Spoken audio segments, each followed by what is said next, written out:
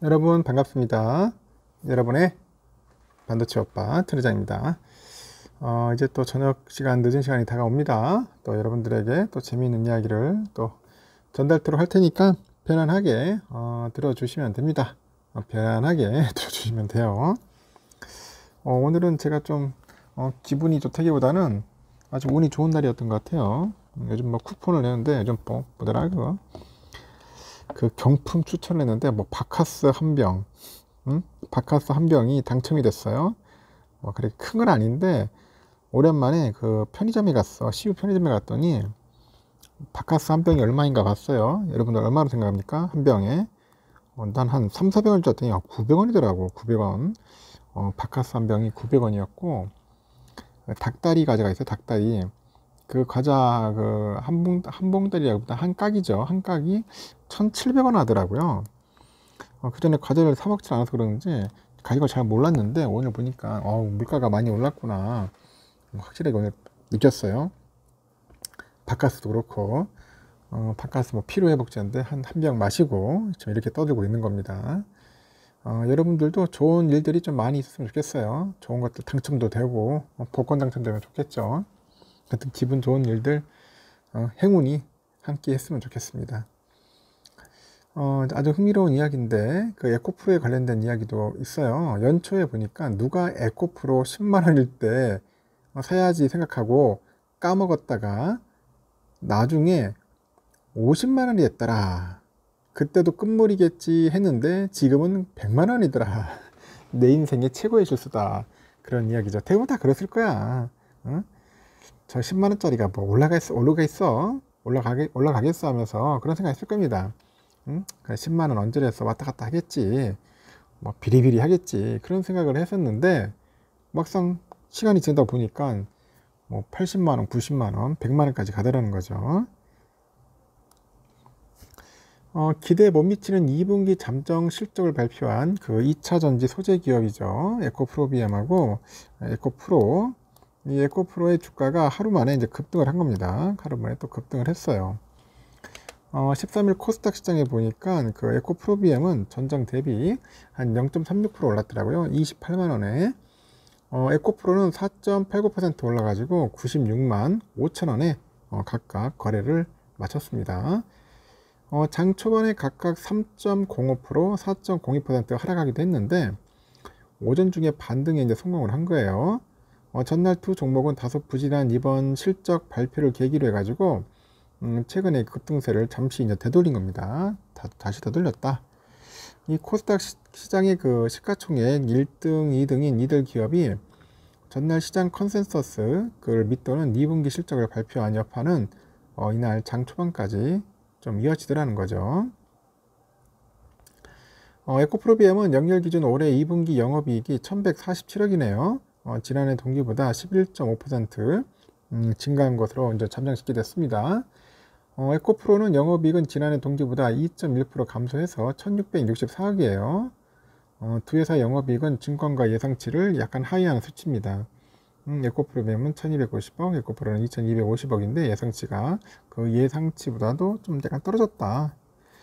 어, 이처럼 예상보다 저조한 실적에도 음, 에코프로하고 에코프로비엠의 주가는 빠른 반등세를 보이고 있어요. 그 추가 상승 국면에 대한 그 기대감을 음, 높이고는 있는데 어, 이 에코프로 형제들의 상승장 속에서 그 대부분의 주식 투자들은 뭐 상대적인 그런 박탈감을 좀 느끼고 있지 않겠냐 뭐 그런 분석도 있다는 거지.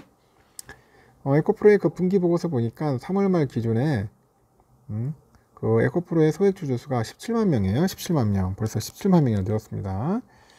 어, 에코프로비엠은 한 30만 명 정도 된다고 하네요. 작년 말 대비 각각 32.2%, 56.1%가량씩 늘어난 숫자입니다. 많이 늘었어요, 여기도. 어, 이런 가운데 그 국내 개인 그 주식 투자자 수, 이 투자 수는 1,400만 명이거든요. 1,400만 명. 전체 주식 투자자 중에 에코프로 주식 보유 투자자 비중이 1.2%야. 1.2%. 에코프로비엠은 2.1%밖에 안 된다. 그것밖에 안 된다는 거죠. 아주 흥미롭죠. 어, 이날 온라인에 보니까 게시판에 그 에코프로로 6천만 원 이상의 수익을 거둔 그런 사람이 있었나 봐. 그리고 거두고 나서 이제 바로 이제 포스코 홀딩스 주식 매수에 활용했다. 그런 글도 올라오더라는 거죠. 어, 이 사람이 올린 그 수익 인증 사진 보니까 에코프로 주식 매도로 번 6,700만 원 그런 가량의 그 자금을 포스코 홀딩스 181주를 매수를 했다. 일간 그 1,300여만 원의 수익을 거뒀고 5.1%의 그런 누적 수익을 보였네요. 5.1%의 누적 수익을 했다. 응? 뭐 잘했네 보니까. 뭐, 돈잘 벌었으면 됐지 뭐. 어, 이달 그 에코프로 형제들의 주가 반등에는 그 포항의 2조 원 음, 투자 소식도 영향을 좀 미친 것 같아요. 포항 쪽에 도 투자를 하는가 봅니다 보니까. 음, 경상북도랑 포항시가 이날 시청에서 에코프로 그룹과 2차 전지 양극 소재 그 제조 공장 신규 건설을 위해서 투자 양해각서에 서명을 했습니다. 투자 양해각서 서명을 했고 이 협약 시에 보니까 송호준 에코프로 대표이사랑 이철우 도지사, 뭐 이강덕 시장, 박용선 도의회 부의장, 백인규 시의회 의장 이렇게 등등 참석을 했네요. 보니까 참석을 해가지고 어, 하여튼 좋은 음? 행사를 한 것 같습니다. 이 협약에 따라 보니까 에코프로그룹은 28년까지 포항시 남구에 그 블루베리 국가산업단지 내에 있지 않습니까? 여기에 69만 4,214 제곱미터 땅에 어, 2조 원을 투자를 해요. 2조 원을 투자해서 원료, 뭐 전구체, 양극재 등 그 양극 소재 일관의 생산 공장인 에코프로, 에코프로 블루밸리 캠퍼스를 설립한답니다. 어? 야, 블루밸리 산업단지도 한단 말이야. 어, 이를 통해서 1120명의 그런 신규 인력을 고용할 예정이다. 그런 이야기도 있습니다.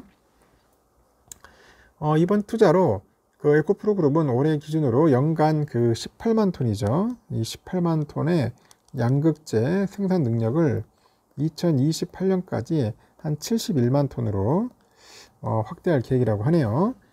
그 양극재는 2차 전지 성능과 용량을 결정하는 가장 중요한 재료인데요. 그래서 2차 전지 그 제조 원가의 약 40%를 차지한다는 거죠.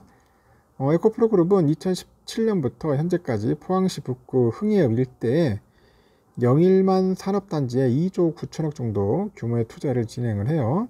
음, 세계에서 유일하게 원료랑 뭐 전구체, 양극재, 뭐 재활용까지 뭐 전주기 샀을 그런 수직 계열화를 어, 갖춘 에코 배터리 포항 캠퍼스 이거를 이제 구축하고 있다.